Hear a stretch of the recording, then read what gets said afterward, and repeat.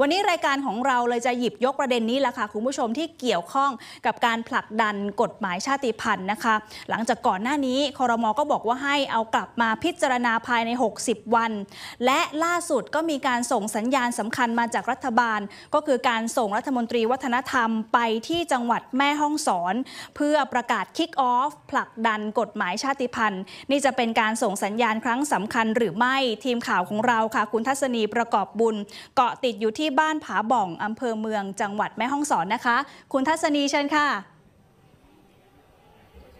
ค่ะคุณบุษรินคะถือว่าเป็นความคืบหน้าอย่างมากนะคะ ของฝากฝั่งรัฐบาลกับการเดินหน้านโยบาย และการผลักดันกฎหมายชาติพันธุ์ค่ะ ที่จังหวัดที่เรียกว่ามีกลุ่มชาติพันธุ์มากที่สุดในประเทศไทยนะคะ เฉพาะแค่จังหวัดแม่ฮ่องสอนเนี่ยมีมากถึง 13 ชาติพันธุ์เลยทีเดียวค่ะ และในวันนี้นะคะ ทางท่านรัฐมนตรีว่าการกระทรวงวัฒนธรรมนายเสริมศักดิ์พงพาณิชย์ค่ะ ก็ได้เป็นตัวแทนรัฐบาลนะคะ มาประกาศนโยบายร่วมกับตัวแทนเครือข่ายชาติพันธุ์กว่า 40 กลุ่มนะคะ เพื่อที่จะร่วมกันผลักดันร่างกฎหมายในมือรัฐบาลทุกฉบับค่ะ ให้สามารถที่จะมีผลบังคับใช้ได้ทันในรัฐบาลชุดนี้ค่ะ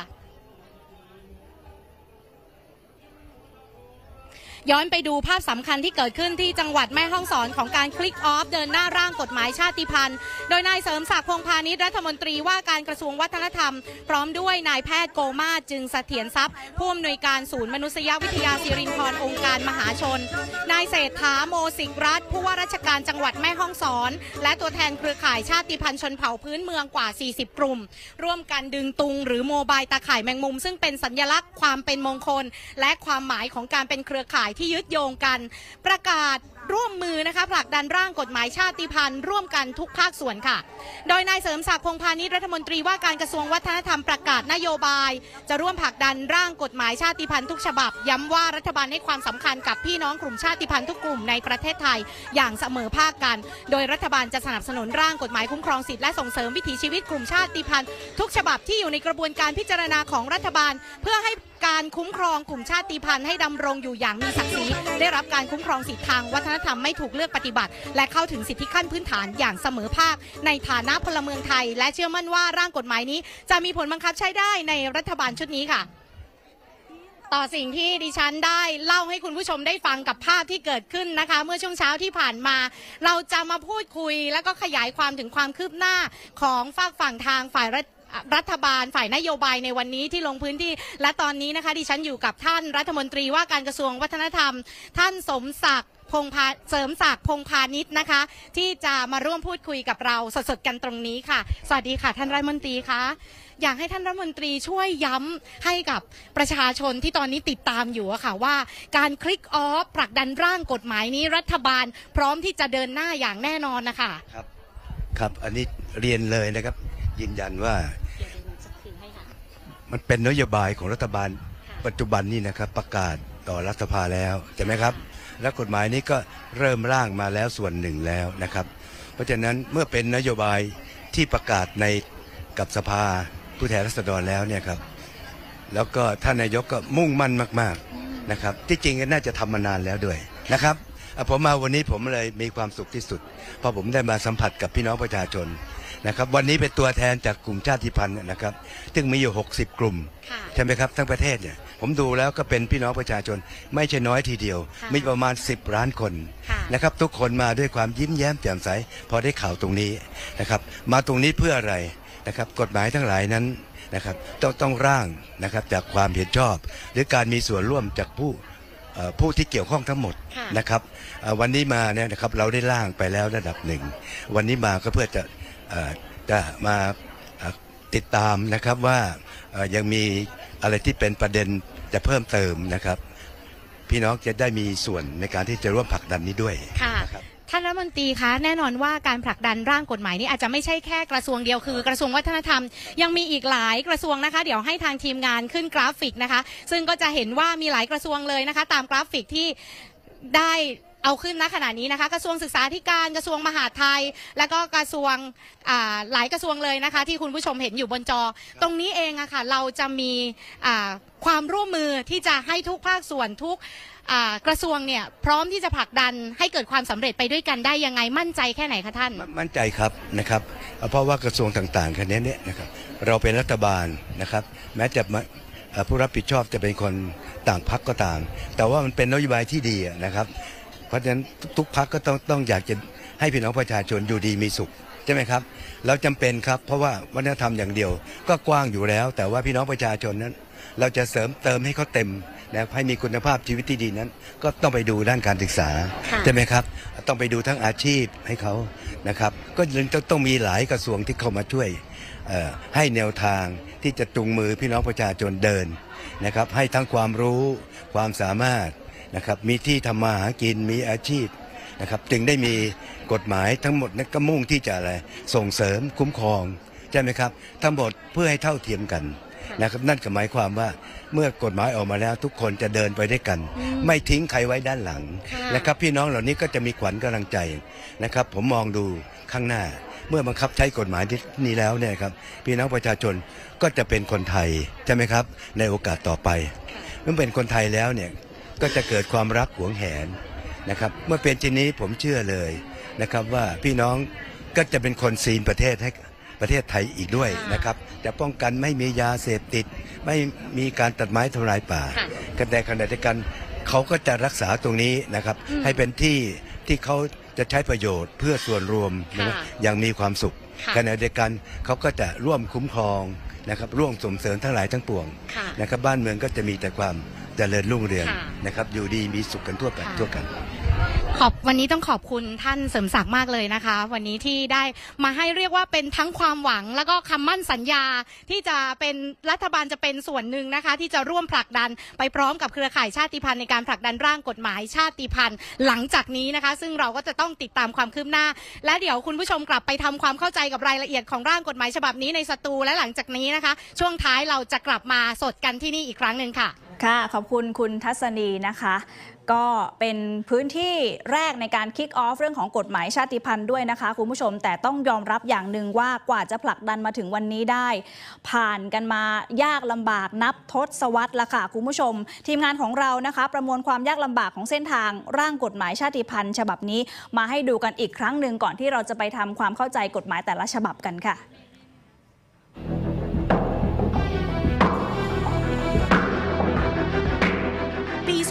2550 หลังรัฐบาลไทยร่วมลงนามสนับสนุนปฏิญญาสากลว่าด้วยสิทธิชนเผ่าพื้นเมือง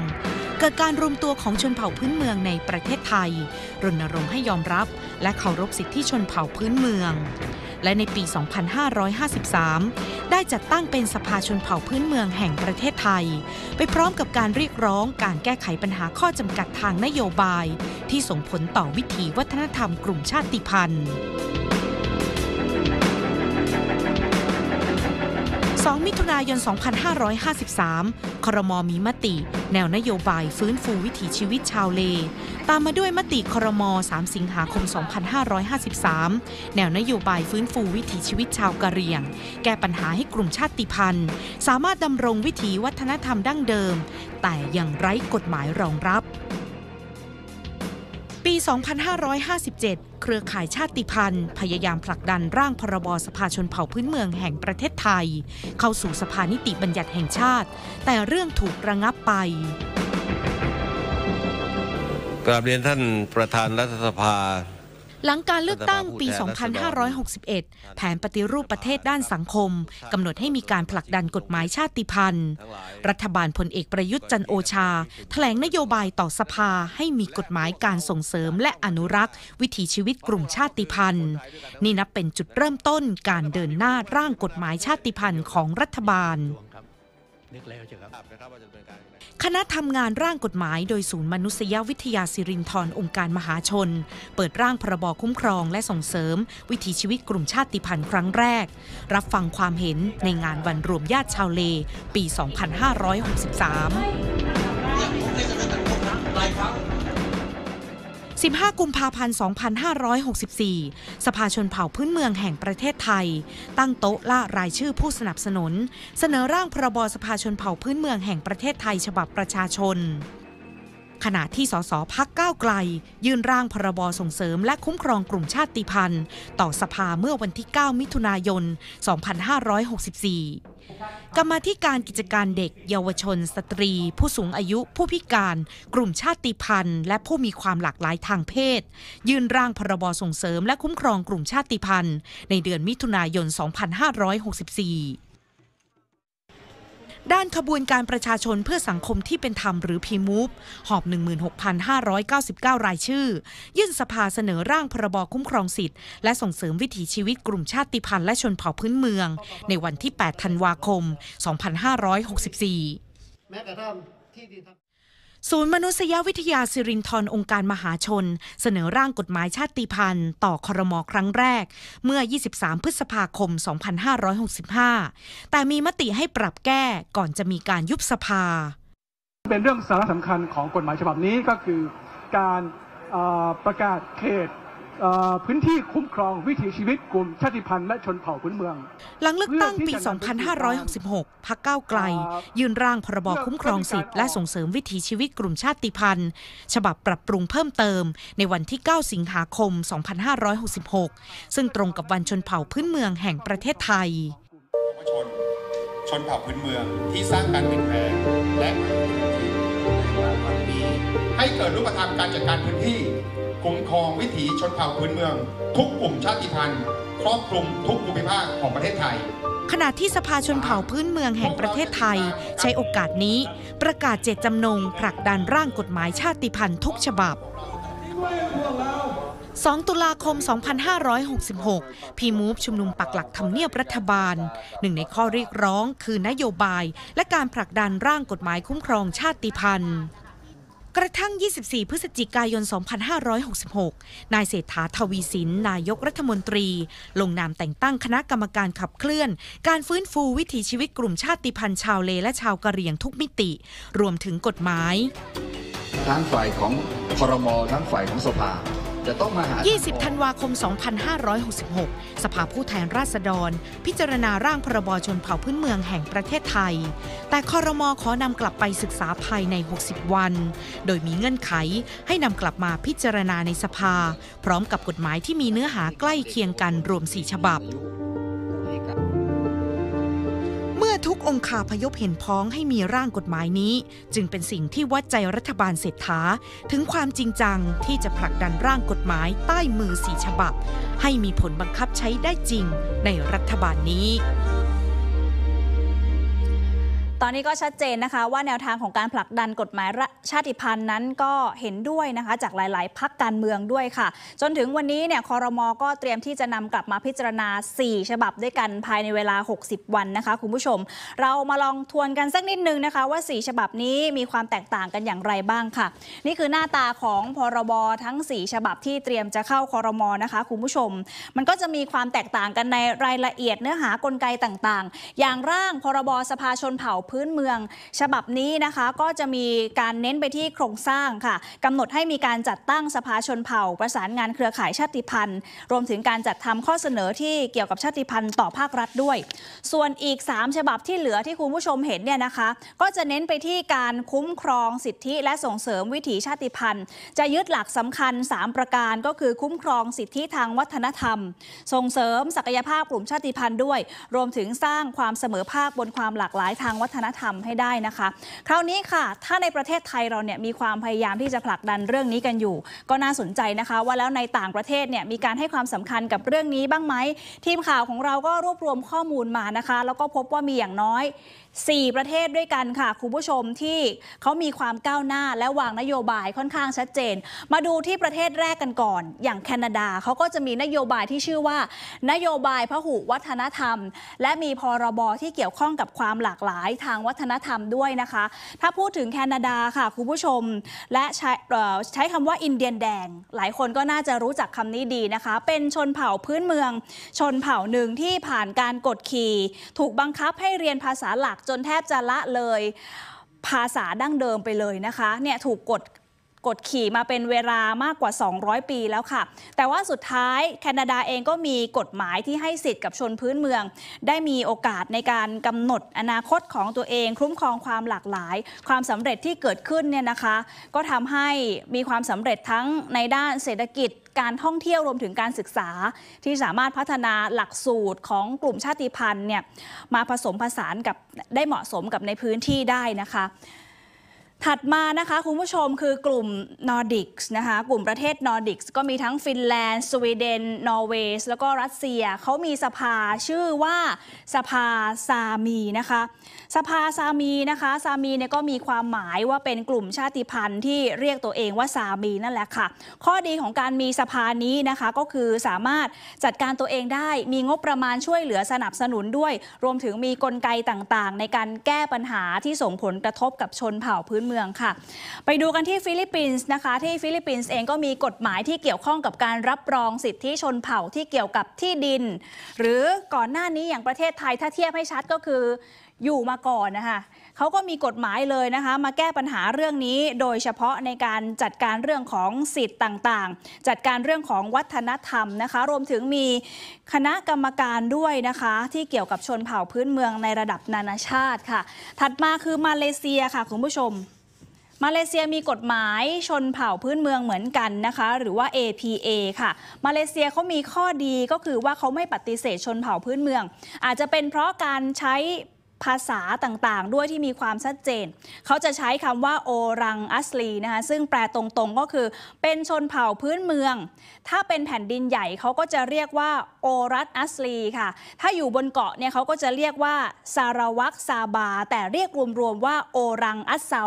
ก็คือมีความหมายเดียวกันว่าเป็นกลุ่มชนเผ่าพื้นเมือง เขาก็มีกฎหมายที่รองรับเรื่องนี้นะคะทำให้สามารถบริหารจัดการตัวเองได้ค่ะ เราได้เห็นข้อดีของร่างกฎหมายชาติพันธุ์ในระดับนานาชาติกันไปแล้วนะคะ แต่ถ้าหากไทยผลักดันกฎหมายฉบับนี้ล่าช้า ผู้อาวุโสสภาชนเผ่าพื้นเมืองแห่งประเทศไทยก็มองว่าอาจจะเป็นการสูญเสียโอกาสของสังคมไทย โดยเฉพาะเรื่องของทุนวัฒนธรรมในมิติต่างๆนะคะ รวมถึงมิติเศรษฐกิจด้วยค่ะ แน่นอนทางเศรษฐกิจก็กระทบมาก มองในแง่ คือรัฐบาลขณะต้องการส่งเสริมการท่องเที่ยว พูดถึงซอฟต์พาวเวอร์ ซอฟต์พาวเวอร์เนี่ยเป็นเรื่องวัฒนธรรมเป็นหลักเลยแหละใช่ไหมครับ ทีนี้ถ้าเกิดชนเผ่าพื้นเมืองเนี่ยรักษาภาษาตัวเองไม่ได้ วัฒนธรรมก็ไปกับภาษาถูกไหมเพราะเราสืบทอดวัฒนธรรมด้วยภาษา ถ้าวัฒนธรรมมันไปวิถีชีวิตก็เปลี่ยนนะครับ การแต่งกายภาษาอะไรต่างๆก็จะเปลี่ยนแปลงหมด แล้วยิ่งไปรับพืชเงินสด ไปรับข้าวโพด รับกะหล่ำปลีอะไรต่างเหล่านี้มันเปลี่ยนวิถีชีวิตทั้งหมดเลย นักท่องเที่ยวจะมาเที่ยวอะไร นี่มองในแง่การท่องเที่ยวนะครับ หมอกควันอะไรต่างๆ ก็เกิดจากข้าวโพดนี่แหละ แล้วก็ในเรื่องของภูมิปัญญาอื่น ๆนะครับ เรื่องสมุนไพรเรื่องการบำบัดรักษา เรื่องของอาหาร ก็อันนี้ก็ก็เสียไปแล้ว กระบวนการผลักดันร่างกฎหมายฉบับนี้นะคะถ้าในสภาก็อาจจะต้องใช้ระยะเวลา แล้วก็รอความชัดเจนในระดับนโยบายด้วย แต่การประกาศเดินหน้าหรือว่า kick off กันไปแล้ว ในพื้นที่ของแม่ห้องสอนเนี่ยเราจะมีรูปธรรมอะไรที่ทำให้เห็นถึงการยกระดับศักยภาพของคนในพื้นที่บ้างนะคะ เราจะไปติดตามกันต่อกับคุณทัศนีประกอบบุญที่อยู่ในพื้นที่ตอนนี้นะคะ คุณทัศนีเชิญค่ะ ค่ะคุณบุษรินคะการที่มีกลุ่มชาติพันธุ์มากถึง 13 กลุ่มนะคะ ก็บอกถึงความหลากหลายของสังคมพหูวัฒนธรรมที่อยู่ร่วมกันได้อย่างเกื้อกูลนะคะ และแน่นอนว่าเขามีวัฒนธรรมที่หลากหลาย ก็ย่อมมีทุนวัฒนธรรม และทุนชุมชนที่ค่อนข้างมากนะคะ และก็เมื่อเช้าที่ผ่านมากับพ่อเมืองของจังหวัดแม่ฮ่องสอนก็คือ ผู้ว่าราชการจังหวัดก็มาร่วมประกาศนโยบายนี้ไปพร้อม ๆ กับภาคส่วนต่างๆ ด้วยนะคะ ก็ถือเป็นทิศทางความคืบหน้าที่จังหวัดแม่ฮ่องสอนก็น่าจะพร้อมละค่ะกับการเดินหน้าประกาศเป็นพื้นที่คุ้มครองทางวัฒนธรรม ในการที่จะคุ้มครองสิทธิและส่งเสริมวิถีชีวิตกลุ่มชาติพันธุ์นั่นเองค่ะ แล้วโอกาสที่จะได้ถ้าหากเดินหน้าในการผลักดันร่างกฎหมายคุ้มครองสิทธิและส่งเสริมวิถีชีวิตกลุ่มชาติพันธุ์ไปพร้อมๆ กับการผลักดันพื้นที่คุ้มครองทางวัฒนธรรมนั้น ในคนในพื้นที่เขามองกันอย่างไรนะคะวันนี้ค่ะเดี๋ยวจะพาคุณผู้ชมนะไปพูดคุยกับ คนที่ทำงานอยู่ในพื้นที่จังหวัดแม่ฮ่องสอน แล้วก็ทำงานบนฐานชุมชนมาอย่างยาวนานนะคะกับคุณสมพศ ยี่จอหอผู้ก่อตั้งดอยสเตอร์นะคะ สวัสดีค่ะ คุณสมภพคะสวัสดีครับผมสวัสดีครับค่ะ คุณสมภพคะเมื่อช่วงเช้าที่ผ่านมาเนี่ยไม่ใช่แค่เรื่องของกฎหมายเนาะแต่ดูเหมือนว่าจังหวัดแม่ฮ่องสอนเนี่ยก็พร้อมจะเดินหน้าเรื่องของพื้นที่คุ้มครองทางวัฒนธรรม ถ้าหากเดินหน้าเนี่ยทุนทางวัฒนธรรม ทุนชุมชนที่มีอยู่ในพื้นที่เนี่ยมันจะเป็นโอกาสยังไงบ้างกับการพัฒนาคนในพื้นที่ชุมชน แล้วก็ประเทศชาติอะค่ะ จริง ๆ เราเชื่อในเรื่องของทุนทางวัฒนธรรม แล้วก็กลุ่มผู้คนที่หลากหลายเนาะก็เป็นที่มาที่ว่าเราทำงานเรื่องนี้ครับเรื่องการท่องเที่ยวเดินชน ในพื้นที่จังหวัดแม่ฮ่องสอนเนี่ยมาเกือบ 30 ปีละ แล้วก็มีการขับเคลื่อนโดยใช้ทุนทางวัฒนธรรมหลายๆอย่างทั้งเรื่องผ้าเรื่องอาหาร แล้วก็เรื่องวิถีชีวิตนะครับ ก็คิดว่าการที่มีการขับเคลื่อนเรื่องกฎหมายชาติพันธุ์หรือว่าพื้นที่คุ้มครองวัฒนธรรมพิเศษเนี่ยก็อาจจะเป็นอีกเครื่องมือหนึ่งเนาะที่จะมาช่วยเสริมทัพในการทำงานขับเคลื่อนเรื่องนี้ให้ก้าวหน้าไปเรื่อยๆ แล้วก็มีประโยชน์โพดผลเพิ่มมากขึ้นครับผม ค่ะก็จะเป็นโอกาสให้พี่น้องที่มีฐานวัฒนธรรมที่หลากหลาย อย่างเรื่องผ้าทอ เรื่องของอา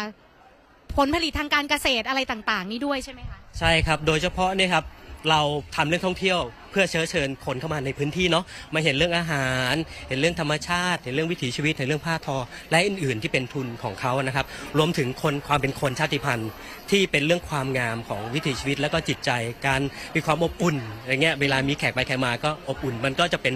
ทุนที่ที่เราจะได้สื่อสารไปกับคนภายนอกครับผมค่ะขอบคุณพี่สมภพมากเลยนะคะ นี่ค่ะอย่างที่บอกนะคะว่าเราเห็นนะคะ เริ่มจะเห็นภาพของทุนวัฒนธรรมนะคะ ที่หลากหลาย อย่างพื้นที่ที่คุณผู้ชมเห็นอยู่พื้นที่จัดงานแห่งนี้นะคะ คือตลาดซอกจาค่ะในตำบลผาบ่องอำเภอเมืองจังหวัดแม่ฮ่องสอน จริง ๆ แล้วตลาดแห่งนี้นะคะ เปิดจริงนะคะ ทุกวันศุกร์เสาร์อาทิตย์นะคะ ก็จะมีนักท่องเที่ยวหลากหลาย มาช็อปมาชื่อมาซื้อของนะคะที่เป็นผลผลิตนะคะ แล้วก็ที่เกิดขึ้นจากฐานวัฒนธรรมของชุมชนนี่แหละอย่างเราจะเห็นนะคะเนี่ยมี มีหลายกลุ่มด้วยกันค่ะ แต่ว่าวันนี้ก็จะมีพี่น้องชาวเลมาร่วมด้วยนะคะ ตรงนี้ค่ะอยากจะพาคุณผู้ชมมาดู อันนี้เราจะเห็นความรุ่มรวยนะคะ ของฐานทรัพยากรในพื้นที่จังหวัดแม่ฮ่องสอน นี่เป็นคนที่อยู่ในพื้นที่ตำบลผาบ่องจริง ๆนะคะ ที่